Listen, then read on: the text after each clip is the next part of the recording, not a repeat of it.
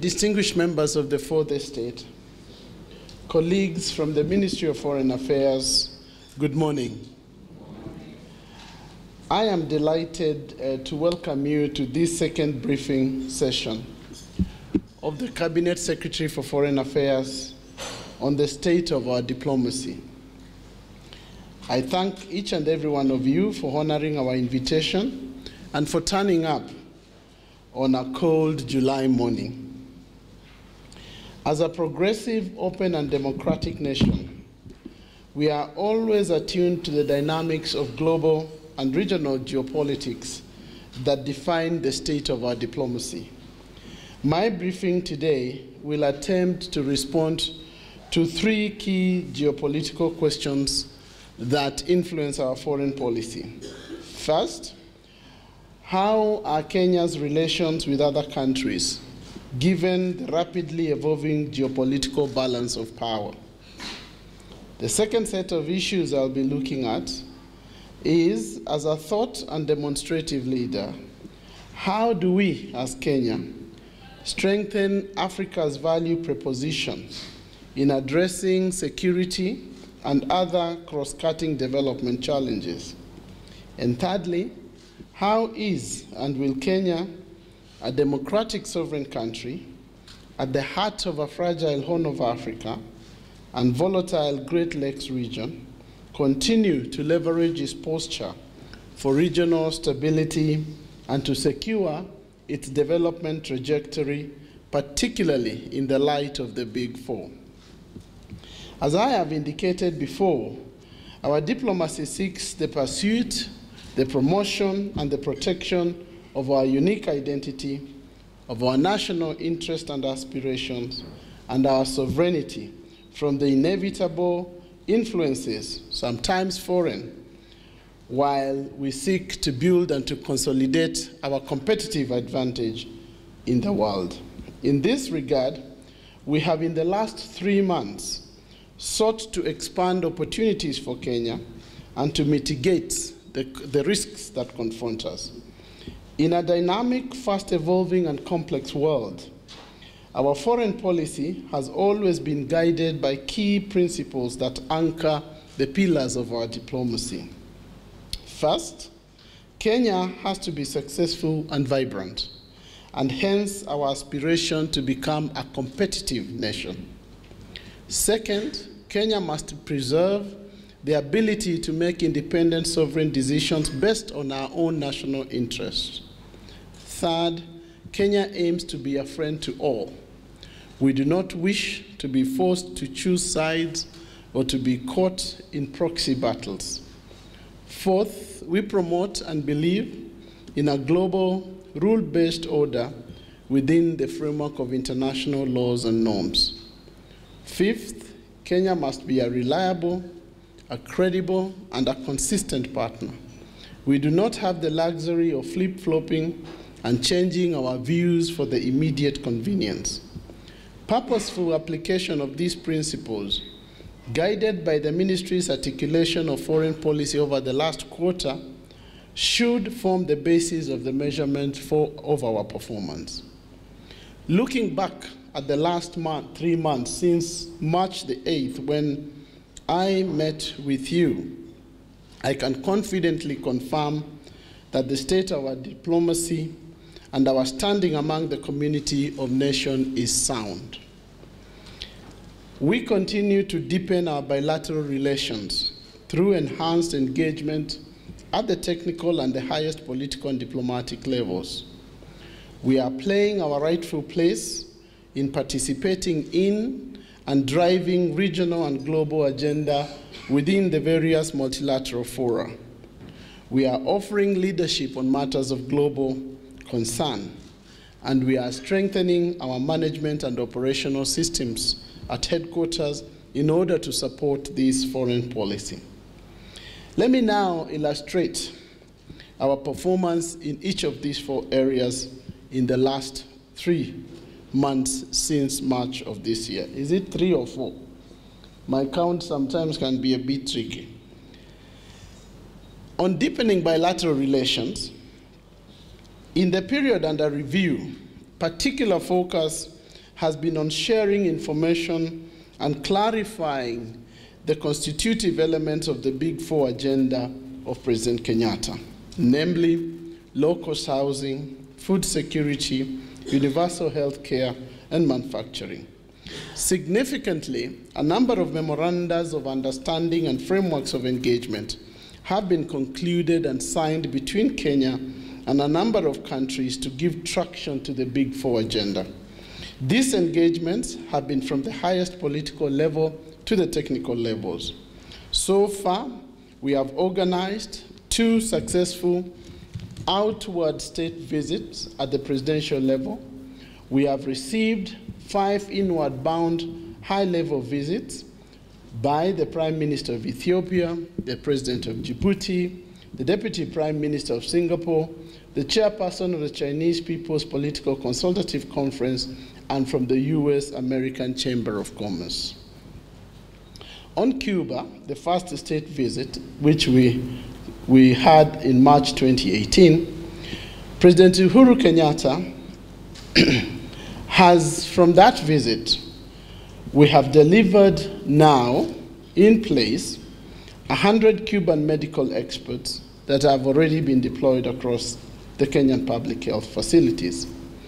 50 Kenyan postgraduate doctors will be trained in Cuba starting coming September. We have negotiated the development of preventative health curriculum for our medical schools, which is now underway, and as part of our preventive health strategy. And our two countries have concluded an agreement to collaborate in malaria vector control in the pharmaceutical sector, in biotechnology, and the research sectors. On food security and safety, an MOU between our ministries of agriculture was finalized and signed in April for cooperation in testing and performance of trial of biofertilizers in crop production, in field trials, and in commercialization of Cuba biorodent to reduce post-harvest losses, to increase urban agriculture, for field trials, and for use of Cuba tick vaccine. We are also working with Cuba for the improvement of aquaculture production and the quality through trials and piloting of the Cuban natural fish growth enhancer pro product, crop germplasm exchange for crops such as sweet potatoes, Irish potatoes, cashew nuts, rice, and sugarcane, for fast maturity and increasing yields, and for small-scale agro-processing, sugar production, and value addition technologies. During that visit, also, uh, there was a number of other memorandums that were signed, including on visa exemption, including on sports development, on cultural exchange, and between our National Chamber of Commerce and Industry. We then had a second state visit to Mozambique. You will remember the visit to Mozambique was themed from Lamu to Maputo, connecting the Swahili coast. But besides this historical and cultural linkage, the state visit of April 2018 led to an agreement to establish our diplomatic representation in Maputo. Uh, we led to a, it led also to an agreement for reciprocal waiving of visa requirements in order to enhance free movement of people between the two countries, and also the signing of a bilateral trade agreement between the two countries. Most significantly was the agreement on the importation of the Mozambican coal for power generation in Kenya, opening opportunities for Kenyans investors in agriculture and the extractive sectors, and drawing lessons from Mozambique on the blue economy. There was also agreement to cooperate on maritime matters within the framework of the Indian Ocean Rim. Among the agreements also signed was the promotion and protection of investments in both countries. During this period, as I've indicated, we have received a number of high-level visits. On the 6th of May, President Kenyatta received the Prime Minister of Ethiopia, His Excellency Abiy Ahmed. Besides the regional security issues discussed and the reaffirmation of strengthening cooperation in search for regional peace and security, the President and the Prime Minister focused attention on deepening of our bilateral relations in areas of cross-border development, joint investment, particularly in the infrastructural sector within the framework of LAPSSET and the Northern Corridor development, energy connectivity, and investment in both countries. More importantly, further, the two leaders re, emphasized the need to revitalize the special status agreement and a rigorous review of its progress in terms of its implementation so that we can elevate our socio-economic uh, relationship to the level of security and defense cooperation. In this regard, there was agreement to finalize the Kenya-Ethiopia power transmission line. They also agreed to jointly supervise the Lamu, Garissa, Isiolo, Moyale road linkages, as well as the Moyale, Awassa, Addis Ababa artery. Ethiopia further undertook to acquire land in Lamu and to develop a logistics facilitation center in the light of the Lamu port. The need and urgency to intensify cooperation through joint investment in Moyale Joint City and the economic zone and the operationalization of the one-stop border in the next quarter. In order to, continue, to contribute to interconnectivity of the continent, the two leaders directed the ministries of transport to engage in a discussion for closer cooperation between Kenya Airways and Ethiopian Airlines in order to drive the integration agenda through facilitating movement of goods and services as well as peoples across the continent. On the state visit to Djibouti, from Djibouti, President Guelleh paid his inaugural state visit to Kenya. During this visit, there was discussion and agreement on expansion of cooperation in various key sectors, primarily tourism, through capacity building and tourism management exchanges. Five pacts were signed during this state visit, including cooperation in trade, bilateral cooperation in agriculture, cooperation in vocational training, and agreement on mutual visa exemption, as well as an agreement on reciprocal promotion and protection of investment. Then we had the visit by Honorable Wang Yang, the chairman of the Chinese People's Political Consultative Conference, which discussed ways to deepen our mutual cooperation in governance. This meeting reaffirmed the growing Kenya-China relations, uh, confirmed Kenya's participation in FOCAC, and agreed to increase the number of scholarships offered to Kenyan students and to negotiate, most importantly, guaranteed access of Kenyan goods into the Chinese market. We then received the American Chamber of Commerce of Kenya, the Kenyan chapter, and basically the discussion with the Chamber of Commerce was really the opportunities presented by the Big Four for investment by American entities. The President opened the American Chamber of Commerce of Kenya Economic Summit on the Big Four and this summit sought to enhance U.S. private sector engagement on the Big Four. Gilbert Kaplan, U.S. Undersecretary of Commerce, led the U.S. business delegation to the event. And during this event, agreements worth over Kenya shillings 10 billion were signed in energy, housing, and support for the small and medium enterprises. Besides this high-level engagement, we also had political engagement that buttressed them at various levels. During this period, I, as the cabinet re uh, secretary, received a total of 14 foreign ministers in Nairobi and held bilateral relations in both in Nairobi and elsewhere with a total of 25 foreign ministers from across Africa, Somalia, Egypt, South Sudan, Burundi, including this morning, South Africa, Namibia, Mozambique, Uganda, Tanzania, Djibouti.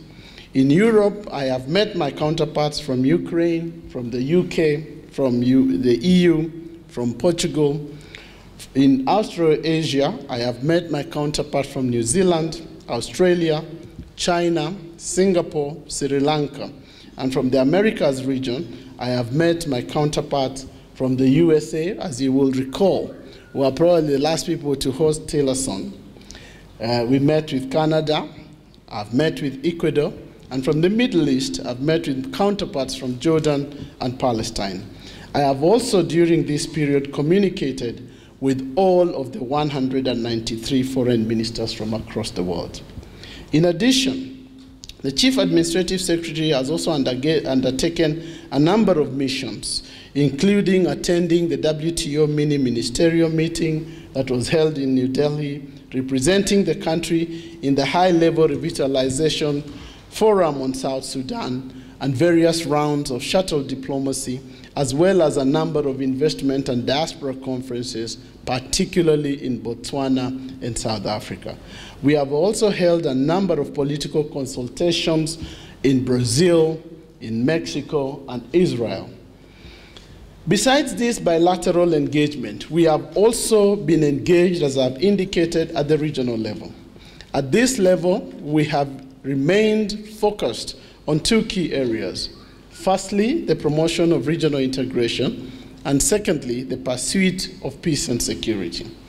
As far as regional integration is concerned, one of the most significant achievements is probably the 21st of March, when Kenya was one of the 44 African countries to sign onto the African Continental Free Trade Agreement. On the 28th of March, Cabinet endorsed the FCFTA, we submitted it to Parliament and it got ratified. And the 10th of May, Kenya was the first, together with Ghana, to deposit its ratified instruments at the African Union. At the same time, we also ratified on the, the Tripartite Trade Agreement, TFTA, and we have also subsequently deposited it at the headquarters in COMESA. Both the CFTA and TFTA agreements open up the continent for free trade, for free movement of persons, and as well as goods and services. It is expected in all estimates, in very conservative estimates, that the CFTA, once it begins its implementation, should be able to grow the African trade from the small percentage of 15 to 25 percent in the next five years. Besides the CFTA, we've also engaged with the Northern Corridor. On the 26th of June, President Kenyatta hosted the 14th Northern Corridor Integration Summit in Nairobi. The summit was attended by Uganda, President Kaguta Museveni, President Kagame of Rwanda, Honorable Aggrey Tisa Sabuni, Presidential Advisor on Economic Affairs of South Sudan, with Burundi, Ethiopia, and Tanzania as observers. This Northern Corridor Summit urged the integration process for us to expedite the integration process within the East African community in order to grow the progress and to take advantage basically of the opportunities here, particularly in terms of infrastructural development, in terms of areas of geospatial data, in terms of valuation processes of the Northern Corridor integration project.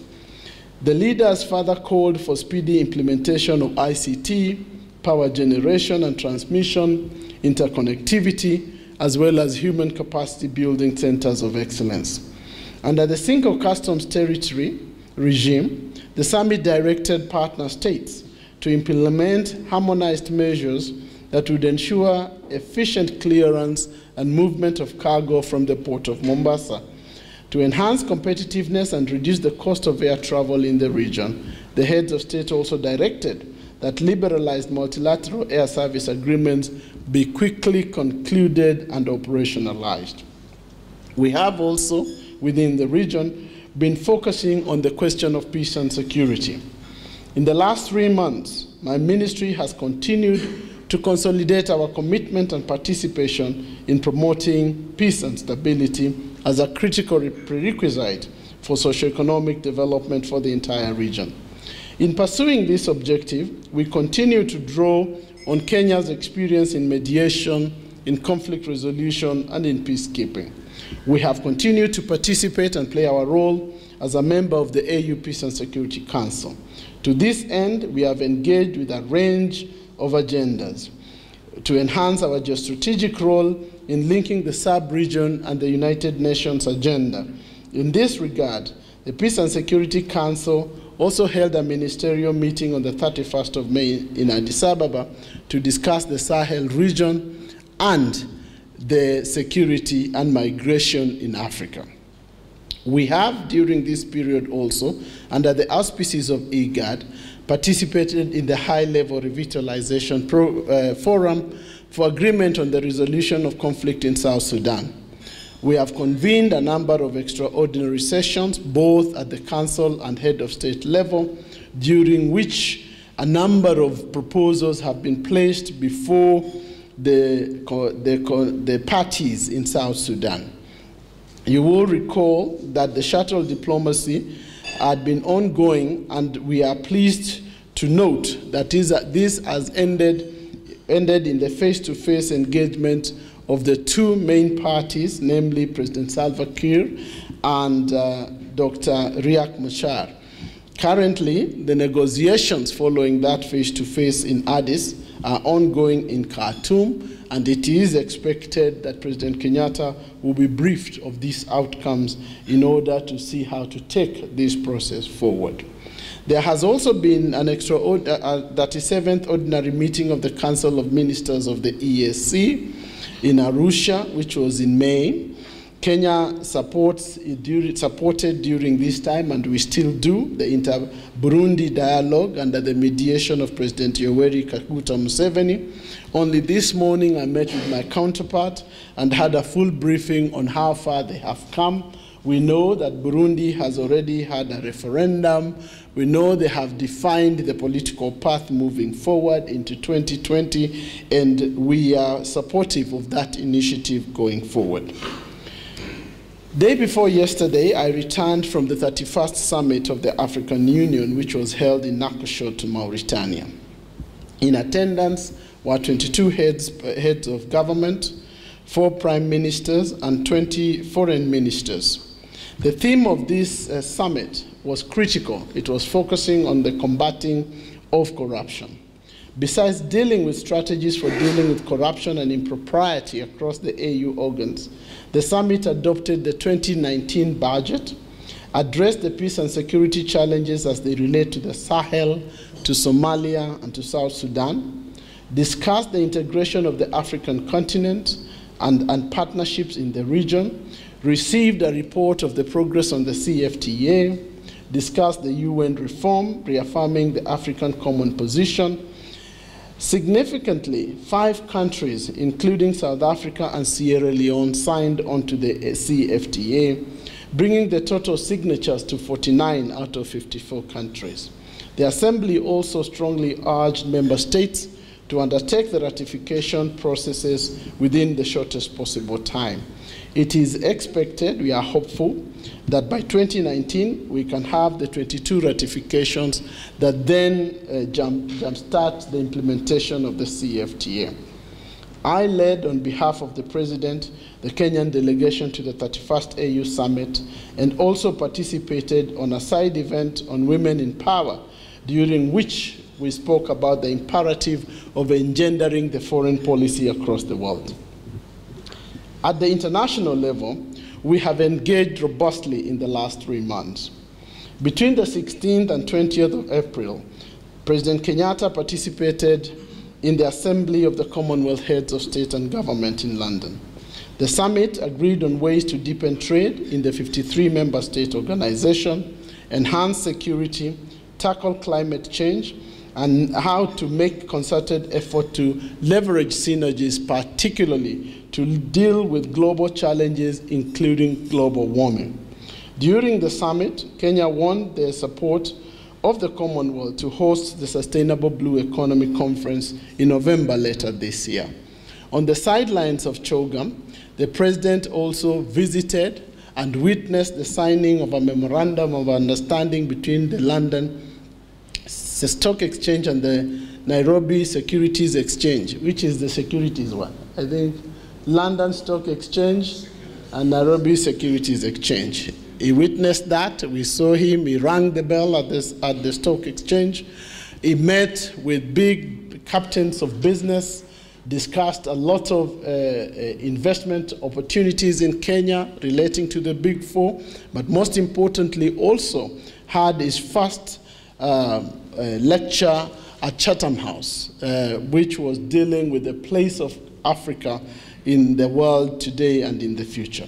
But besides these engagements on the sidelines of the CHOGM, the President also held bilateral consultations with a number of leaders of the world, including Prime Minister May, Justin Trudeau, as well as uh, uh, the, the Prime Minister of Pakistan.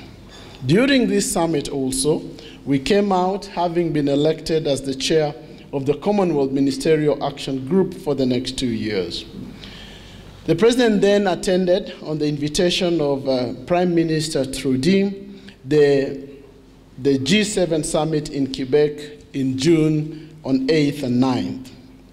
During this summit, the leaders focused in the outreach session on ways to combat the pollution of the oceans and how to conserve environmental uh, uh, uh, the environment and unlock the potential of the blue economy. During this summit, all the members of the G7 roundedly commended Kenya for the initiative on the Blue Economy Conference and expressed strong support for the uh, conference later in this year. On the margin of the Quebec summit, the president had occasion to hold bilateral sessions with President Kagame, President Cyril Ramaphosa, President Macky Sall, Andrew Holness, Prime Minister of Jamaica, Prime Minister uh, uh, Christine Lagarde, Managing Director of the IMF, as well as uh, the head of the World Bank. Significant outcome from the engagement in, in Quebec included the request to us to help host a Women of Africa conference in preparation for the Vancouver Women Deliver Conference of 2019. And we have actually, in follow up to that, already held a number of consultations with the EAC, uh, the Economic Community Commission of Africa, as well as the AU on the modalities of holding these consultations. There was also an outcome relating to Kenya and Canada collaborating in a pilot project on refugee employment that provides for us access, guaranteed market access for the products that are produced by refugee labor in Canada. We also had discussions that led to the establishment of Kenya Jamaica Cooperation in bilateral air services agreement as well as an agreement to establish a joint trade commission and cultural exchange and sports development with Jamaica. We were also, uh, there was also discussion with President Ramaphosa, which led to an agreement by the two leaders to host an Africa-led investment conference in Nairobi in October 2018. Roundedly, the president expressed invitations, extended invitations for the upcoming Blue Economy Conference, and these were received very well. We also had meetings with the MasterCard Foundation, and you probably have read and reported about the willingness of MasterCard to actually put um, about uh, 300 uh, US dollars into uh, the vocational and technical training uh, in our country. We also had discussions around the Africa Caribbean Cooperation on Post-Cotonou Trade Agreement. During this time, there has also been very engaged consultations on the ACP EU uh, agreement, but what is called the Post-Cotonou Agreement. In May 27th to 30th, the 107th session of the Council of Ministers of the ACP and 48th ACP EU ministerial meeting was held in Togo to discuss the post-Cotonou cooperation framework between Africa, Caribbean, and Pacific countries and the EU after 2020. The benefits, experiences, and histories of linkages with these countries hold much for Kenya in positive lessons that can drive our development aspiration. It is with this in mind that Kenya intends to continue engaging within the structure of the ACP, although there is a lot of discussion now whether we should do ACP EU or whether we should do Africa EU. But our position in terms of uh, uh, policy and strategy is to retain the ACP framework in the negotiation of post-Cotonou. But this is something that is evolving and it is something that we are very engaged in with our African, Caribbean, Pacific, as well as EU uh, friends. As I indicated earlier, there was the mini WTO ministerial meeting to reflect on the outcomes uh, from uh, Argentina because we all know that we did not get the outcomes we desired in those negotiations. We know that there have been uh, significant divergence of views between particularly the developed and developing countries, but it is our view that we should hold on the WTO framework and so Kenya will continue to engage with like minded countries to make sure we do not fall off the rail of WTO. There has also been a lot of engagement with the Japanese private sector, particularly, and we coordinated Kenya's participation in the Japan Africa Public Sector Forum that was held in South Africa in May. The forum addressed mechanisms of engagement between Africa and Japan and Kenya had the opportunity to engage the Japanese authorities on deepening cooperation between our two countries. Uh, Kenya, uh, our two countries, so far 30 billion US dollars has been allocated to Africa's development as well as bankable investment projects with Japan for investment. And so we are hoping that part of this money can be leveraged again for the big four or for our development agenda. We have continued to provide our leadership in the global agenda. And in this instance, Kenya will be hosting the first global conference on the blue economy between the 26th and 28th of November in Nairobi.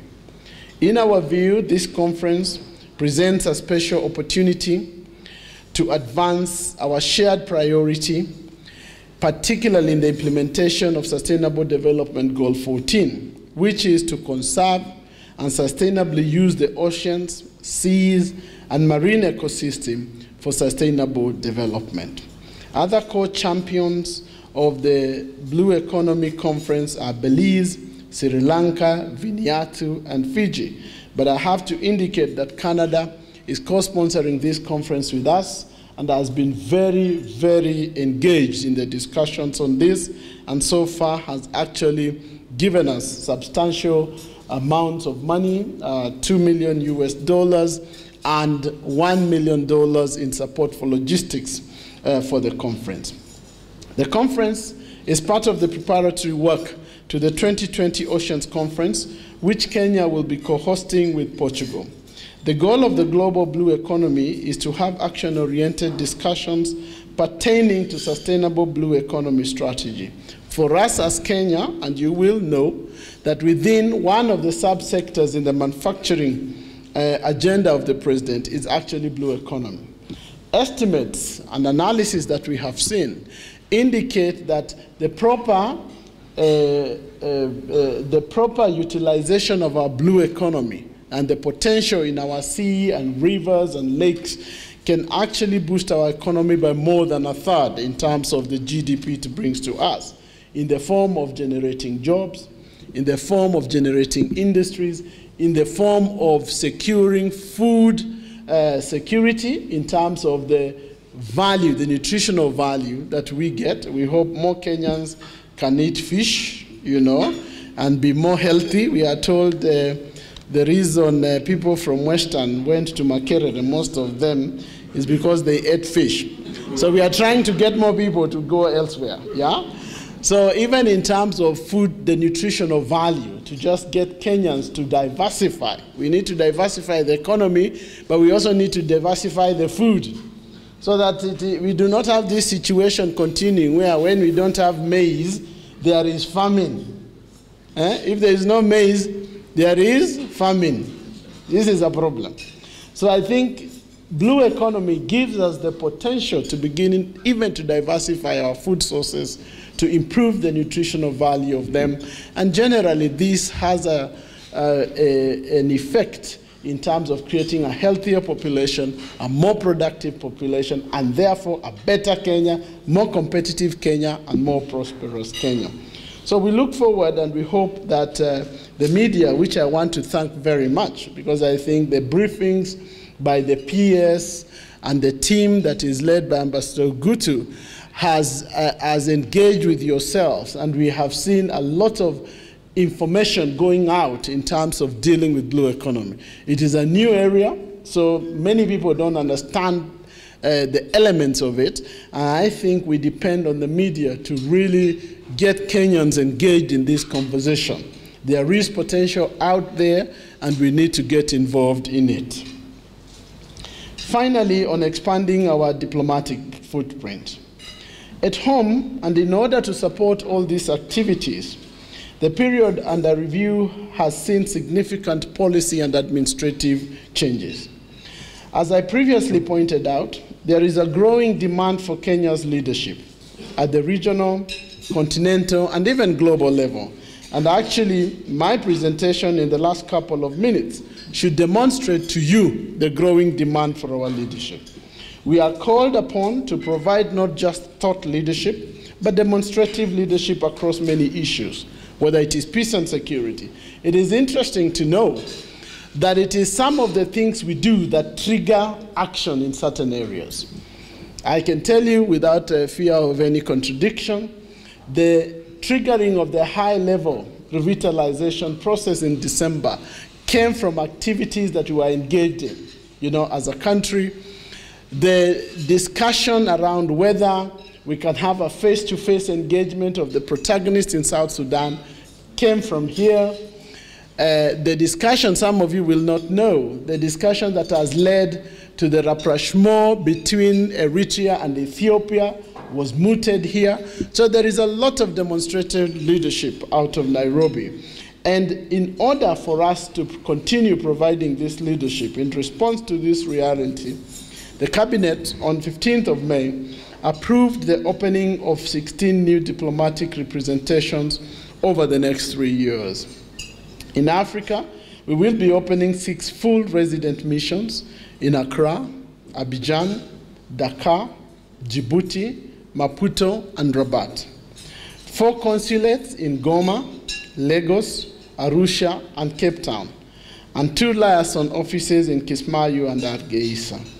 In Asia, we will open a resident mission in Jakarta and consulate in Mumbai and Guangzhou and Shanghai in China, respectively.